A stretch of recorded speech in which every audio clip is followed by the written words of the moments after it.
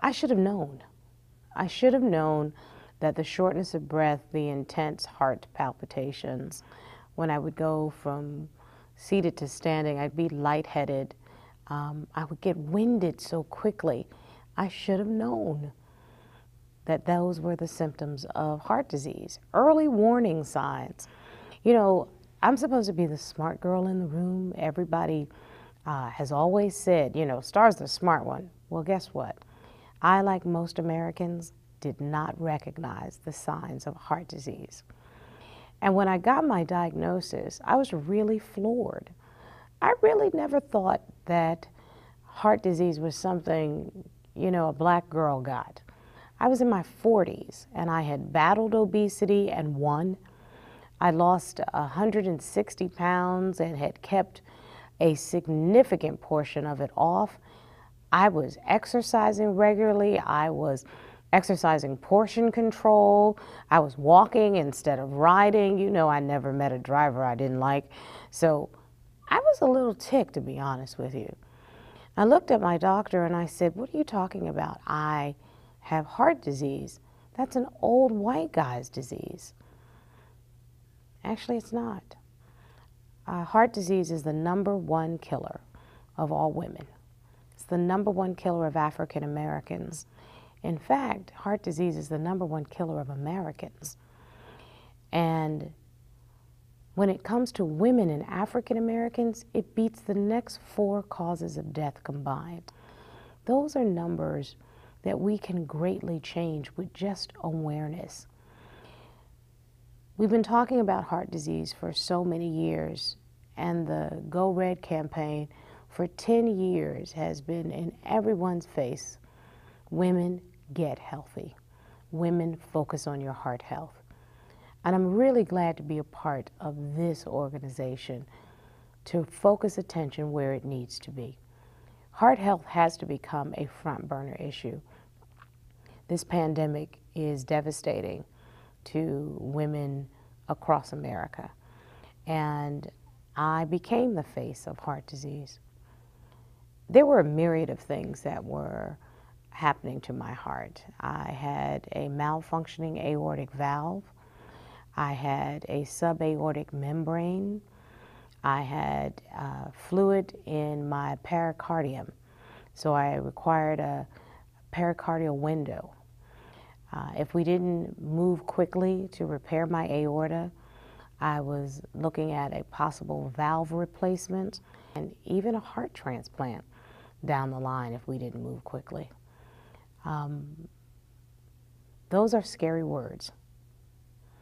And when they said I needed to have open heart surgery to repair it, I don't know if I wrapped my mind around open heart surgery. I, I remember asking, do you mean the kind where they crack your chest?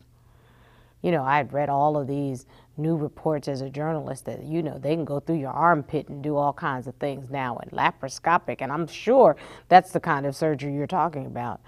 And uh, Dr. Fuster said, no, we mean the real kind of open heart surgery, old fashioned, where they use a saw and they spread your chest and they take your heart out of your body and they fix it.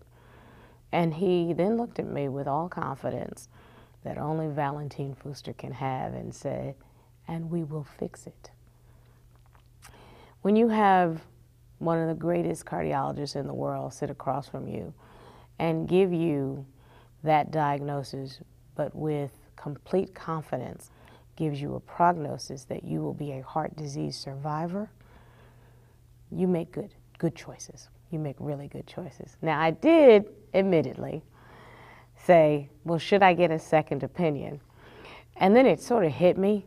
He probably trained the darn person I'd get a second opinion from. So, needless to say, I uh, took Dr. Fuster's advice, and seven days before my 48th birthday, I had open heart surgery. Uh, my heart was out of my body for 22 minutes. And miraculously, I had no complications whatsoever, no infections, no glitches, no anything. I know for the first couple of days, um, I was in intensive care, and I, uh, I laugh now thinking about it. I don't remember any of it. I don't remember the pain. I don't remember uh, the IVs. I remember none of it. And I think maybe that's God's way of allowing you to put the trauma of it behind you. The first thing I remember is on day three, screaming at the top of my lungs that I wanted a bacon cheeseburger. And needless to say, the nurses were like out of their minds. And they said, uh, Miss Jones, you can't have a bacon cheeseburger. They wanted to say, stupid girl, three days after open heart surgery, but they were so kind. And I called my boyfriend and said, I want a bacon cheeseburger. He, of course, thought I had lost my mind, that I was delusional. And so he thought he would be telling on me by calling Dr. Fuster. But what he didn't know is Dr. Fuster really did know me in ways that I'm not sure that I can explain. And Dr. Fuster gave Herb an instruction. He said, Go get her a bacon cheeseburger. Herb really thought he'd lost his mind. So he went, to get the bacon cheeseburger, he brought it to me.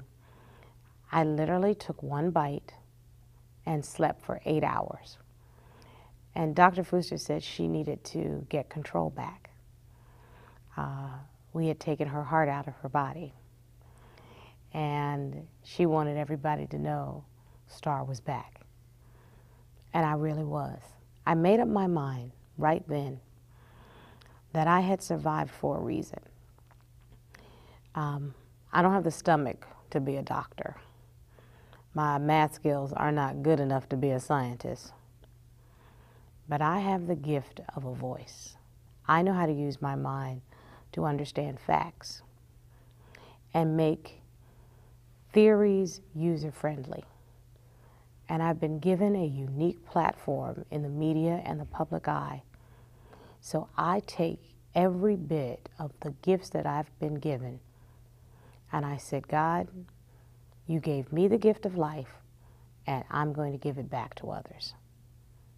I called the American Heart Association and I said, uh, I just had open heart surgery and I'd like to volunteer. I think to this day they're still shocked. I don't think people in my position usually call them volunteer. Um, but guess what? More people should. And I figured with my platform and my big mouth, I'd be able to make heart disease and heart health a front burner issue, which is where it belongs.